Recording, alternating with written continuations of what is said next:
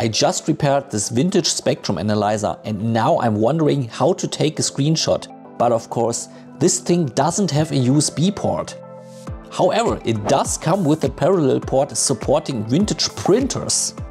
So I made a really simple adapter and hooked it up to an Arduino.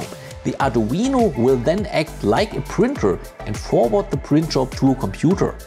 Now let's connect this to the parallel port and we are ready to code. The Arduino sketch is really simple. When the analyzer signals that the data byte is ready, we read it, acknowledge it and send it to the computer. The computer runs a Python app that receives the bytes and after a timeout decodes them into the final image. While the analyzer supports various printers, I chose to support one particular printer only.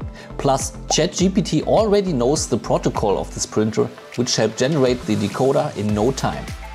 Now let's test that everything works as intended.